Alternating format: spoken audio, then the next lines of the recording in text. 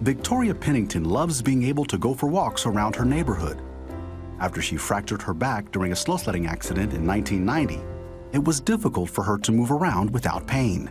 I've always had pain ever since, you know, the very beginning. I had a hard time like bending over at all. Victoria lived with back pain for years. She tried pain meds and even made several appointments to see a chiropractor.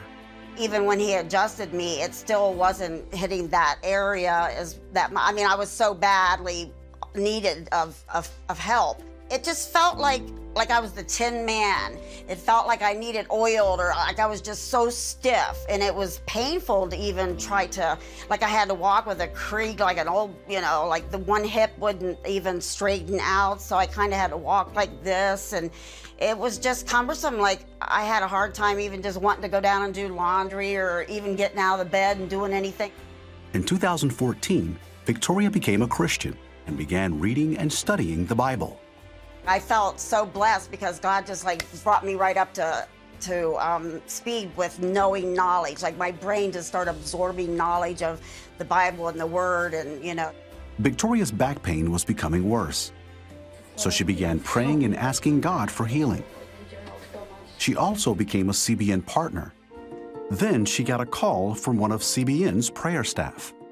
He asked if I wanted prayer for anything, and I told him that I was just really having this bad pain, and so we did prayer over that. And, and then the next morning when I woke up, it was like I went to move, and I went, oh my gosh, I'm, I, I couldn't, I mean, I couldn't believe it, but I believed it, you know, it was like, I, that is awesome. I said, you know, I, so then um, there was no pain left at all. I mean, it was completely gone, completely gone.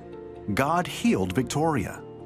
Now she can enjoy life free from back pain.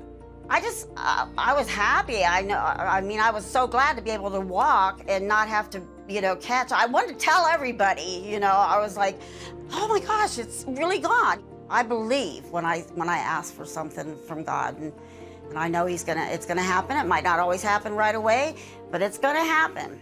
You know, I know He's gonna take care of me. I love Him.